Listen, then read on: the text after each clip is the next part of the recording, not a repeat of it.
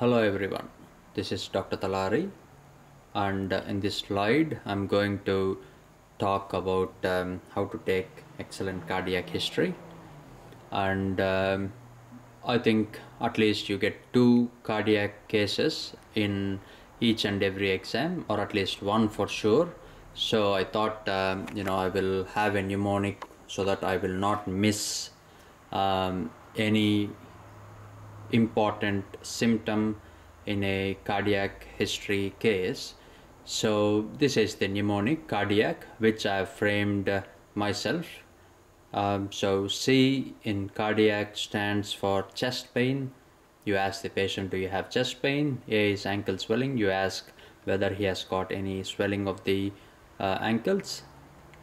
R is reduced exercise tolerance where you ask the patient uh, how many blocks he is able to walk now and how many blocks was he able to walk in the past or how many stairs can he climb and uh, how many claims he how many sorry how many stairs he used to climb in the past which tells whether his exercise tolerance is reduced or not. D is dyspnea and at this point you ask about orthopnea and pnd as well.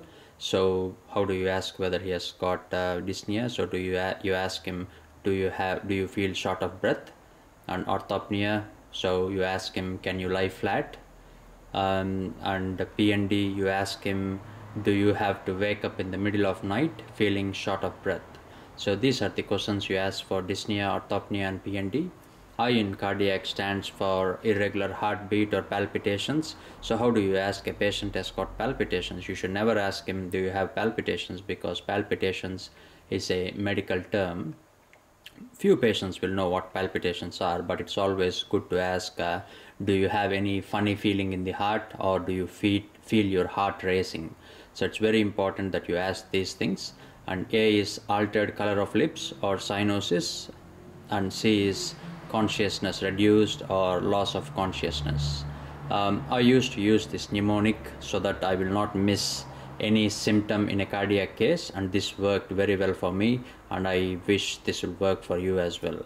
Thank you very much for listening to this video. I'll talk to you in my next video. Thanks again.